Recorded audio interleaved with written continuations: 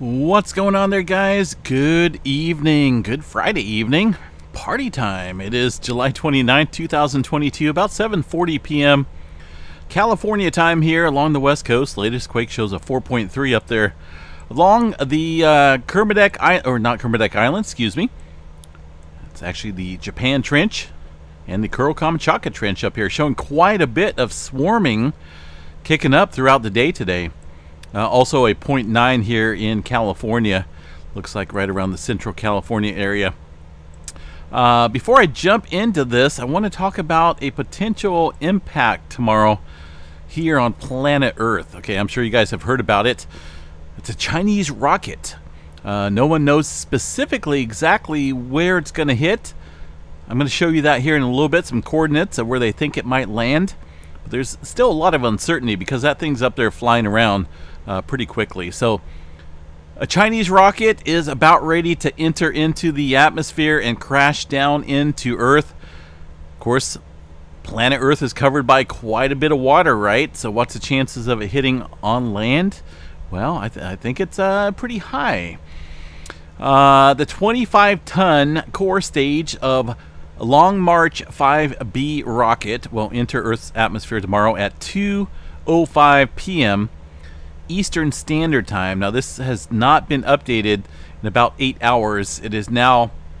Um, I'll, I'll give you guys the update here in a little bit on specific time. Plus or minus five hours. Okay, so this rocket was launched uh, uh, less than a week ago. Uh, it was the uh, second module of for China's uh, Tiangong space station on July 24th. Most of the rocket body will burn up but big chunks of it will survive the fiery passage, probably about five to nine tons surviving. Could you imagine that? A nine ton piece of debris falling on a highly populated city or your residential neighborhood? Ooh, baby, that's not good. I'd be talking major lawsuit there.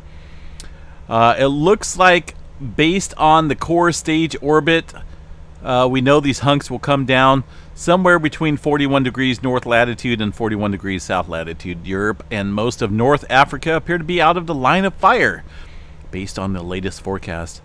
We also know the debris footprint will be large, with some pieces likely falling several hundred miles uh, from each other. Holy smokes. So this rocket is zooming around Earth at about 17,000 miles per hour. That's kind of a big deal, right? So when you're guesstimating potential re-entry, even a few minutes is a long distance. So there's not there's a huge error uh, when it comes to trying to predict the exact location and re-entry time uh, for this rocket.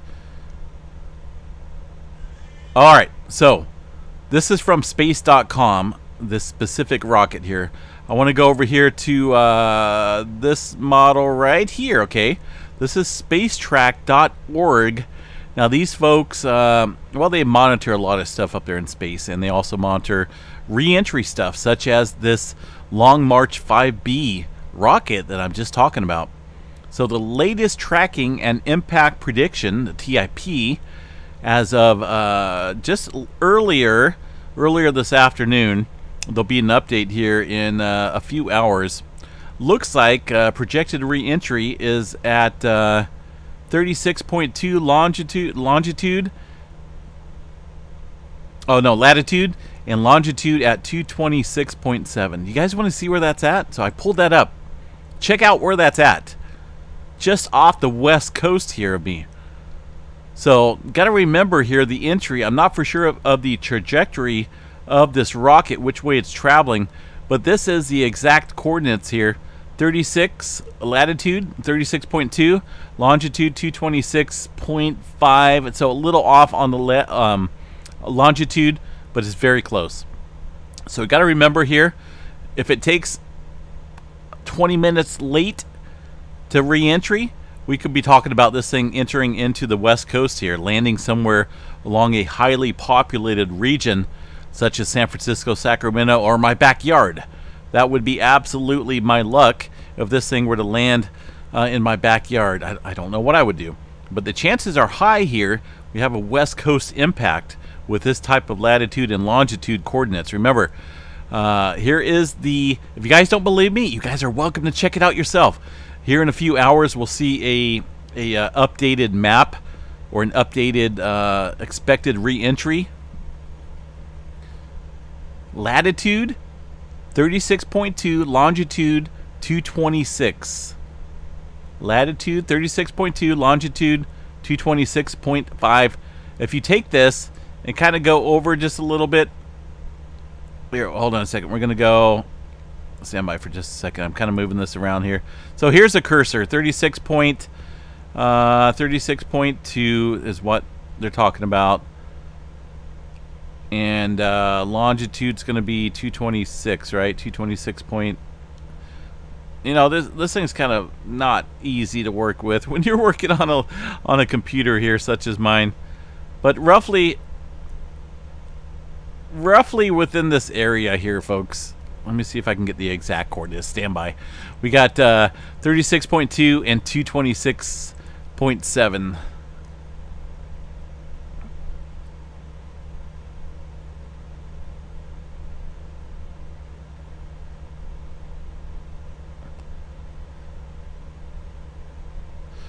Two twenty six point seven, right about there either way, okay, so I was a little off, a little bitty off, but um, uh, that still puts the West Coast in target here. Of course, as we're zooming around, this is going to change, but these are the coordinates right here: 36.31, uh, 226.58, roughly off the coast of California. Okay, can't get any you know super precise, but that's kind of a big deal when when we're guesstimating re-entry here. All it takes is for it to arrive a little bit later than expected, and wham bam, one of these cities out here along the west coast could get hit uh, from this what five to nine, almost ten ton hunk of metal, and it could be spread out.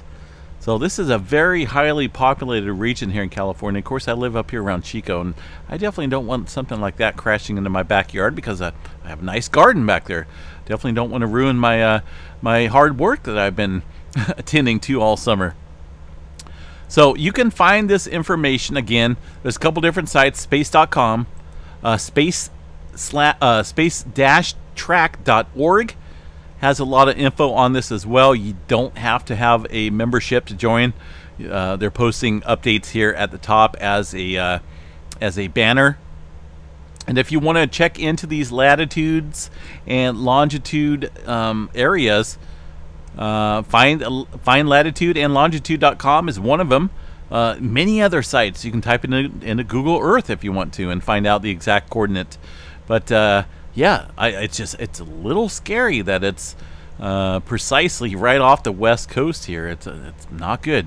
And of course, the later, uh, far as reentry time goes, it could spread. it sucks because this really puts the United States in target here for a possible re-entry somewhere over land. Now, if this was much further back, I'd feel a little bit better. But uh, right now, we're looking at this thing possibly. This is the uh, approximate location where this thing should re-enter. And uh, yeah, West Coast, just a heads up. So time frame, folks, time frame. Let me go back here to the time frame here. Latest tracking and impact prediction uh, shows re-entry at tomorrow, 1722 UTC time. So what time is that? That's going to be about 10:22 a.m. West Coast time. That's West Coast time, 10:22 a.m. West Coast time. So, of course, you know, Central Mountain Time and Eastern, so on and so on. You add your hours. But far as the West Coast goes 10 a.m. Saturday uh, in the a.m. This is expected 10:22 a.m. And of course, this is subject to change as well. We're going to wait for the latest update. Uh, I will be watching this pretty closely and see if there's any uh, major changes to the coordinates there where this thing could impact. Could you imagine this thing crashing into San Francisco in a highly populated region? Wow, that would, uh, man, that would not be good. I don't wish that on anybody, but could you imagine the responsibility there of the uh, Chinese rocket, the Chinese folks there? Uh, you know, that's whoops. You know, accidents happen. No, I don't think so. You know, we got to make appropriate measures to uh, make sure stuff like this doesn't happen. Anyway, let's move on into the earthquake department. I figured I would share that with you guys because I find that rather, rather um, interesting for sure. Okay, let's talk about the major activity popping off here along the Japan region. Uh, we're talking about areas around the uh, Kuril Kamchatka Trench northward and also into uh, areas south of Japan. We're seeing quite a bit of earthquake activity. This is only over the last 24 hours. Look at this cluster of earthquakes down here along this trench. I'm not even going to attempt to pronounce that name. I'll let you guys be the judge. But we got nine earthquakes uh, in the range of four to five out there. Largest so far, a 5.3 earthquake in the mix. Um, that's a lot of activity. From it going awfully quiet to a major swarm of moderate earthquakes is something to take heed. All this activity occurring, of course, following the large seven-pointer out in the Philippines there, there a couple days ago. Excuse me, I just got hiccups all of a sudden. Also, notice up here, along the uh, Kuril Kamchatka Trench. We're getting a swarm of activity up here as well. We have not seen any major large-scale activity in this section of the Pacific Ring of Fire in quite some time. It's overdue, uh, far as I'm concerned, in the terms of slip rate. There's definitely enough slip rate accumulated stress here in this region to produce a large earthquake, and I'm talking a lot more than a five or six. So watch this area along the Pacific Ring of Fire very, very closely. Uh, further down south, things are pretty quiet along the Mariana Trench, Philippines area for now. A little bit of activity around the Myanmar area. That was earlier today. Uh, a couple fours kicking off there. Not a whole lot of activity further to the west. A lot of that activity is older, including that movement out there in the Indian Ocean. Far as the Indonesia area goes and the uh, Kermadec Trench, we had one earthquake in the Kermadec Trench earlier this afternoon a 5.2, but look at this. This has gone awfully quiet here, folks. So uh, a little bit of adjustment was taking place here in the deeper regions of the Tonga and the Fiji area.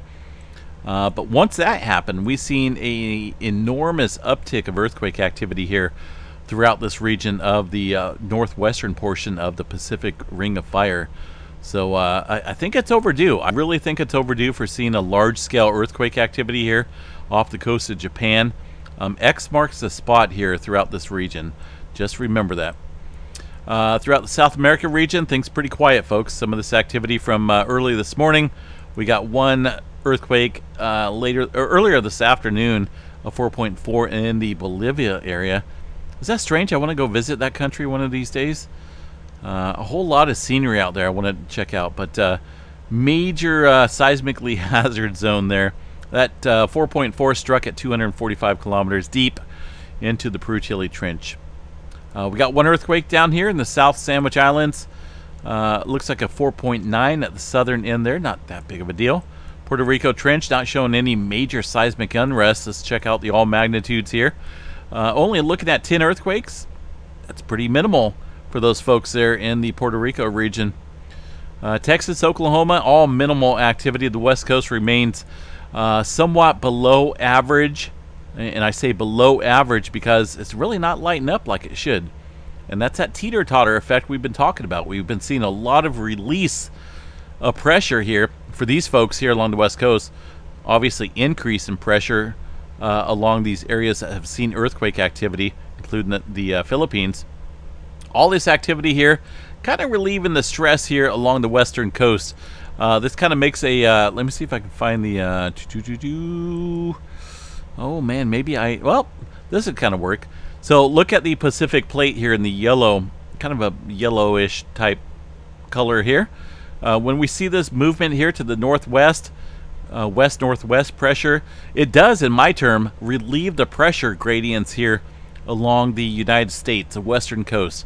This area here kind of goes in a counterclockwise direction uh, coming from the north uh, northeastern direction.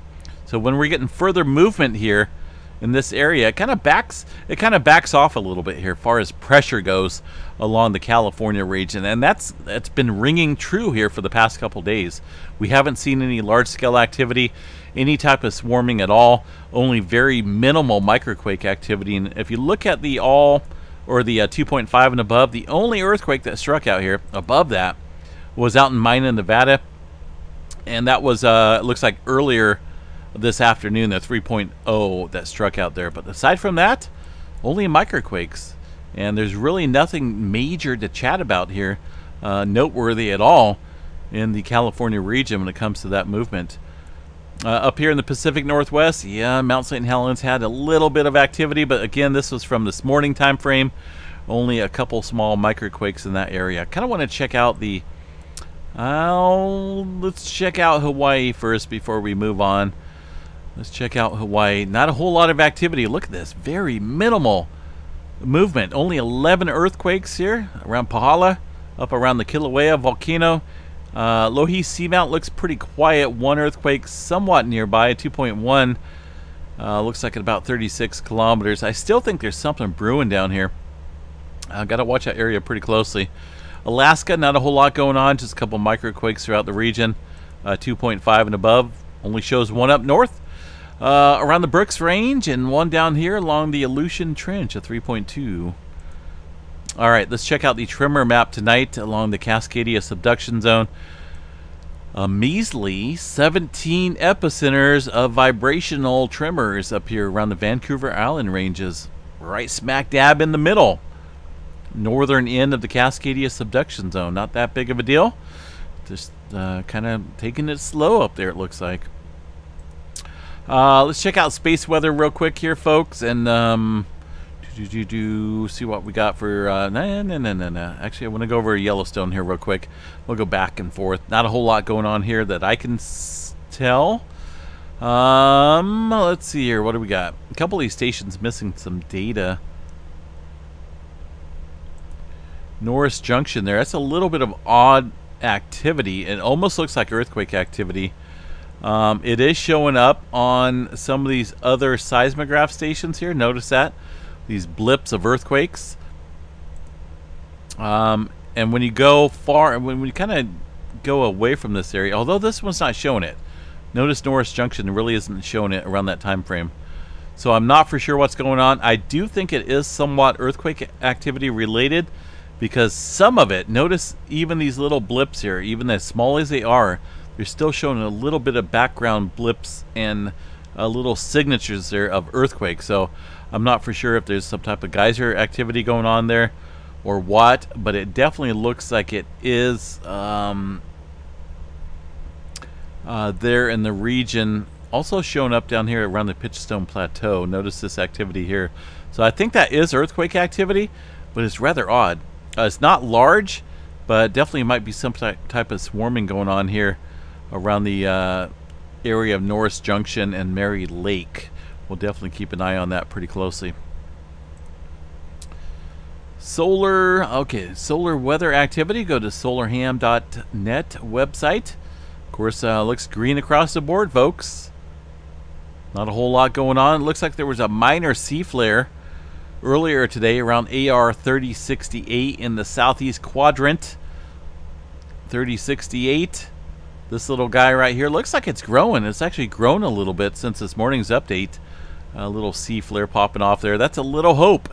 Fingers crossed that this thing grows into a monster and produces a, a uh, pretty large flare. That's the about the only potential we have of uh, flaring in the coming days. Not a whole lot behind that. No major coronal holes to report that are facing us. Um, so we'll keep an eye on that for sure. A little hopeful. This guy, maybe the little solar, the solar sunspot that could. We'll see how we'll see how it plays out. All right, guys. Um, if something changes here on the Chinese rocket reentry, I will definitely let you guys know, and um, I will provide updates here on the channel or on the Facebook or my Twitter page or all. Um, but uh, I think it's something to watch pretty closely. I definitely don't want five to ten tons of junk uh, falling down from space into any populated regions or my backyard. This is kind of cutting it close with those longitudes uh, and latitude type of uh, setup here. So West Coast not out of the clear.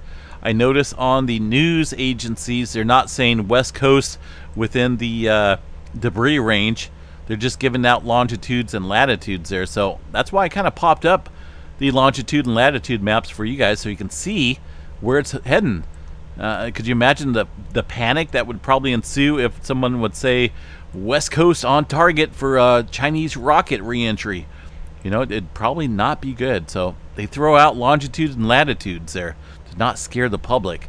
But I think everyone should be informed as to the potential debris uh, reentry location there. So, uh, and that includes, like I say, me, and that's not good. All right, guys. Um, I'll chat you guys a little bit later. Stay safe out there. Uh, looks like a 4.3. Looks like a 4.3 around the Kuril Islands area. Uh, we'll chat you guys very soon. Peace out.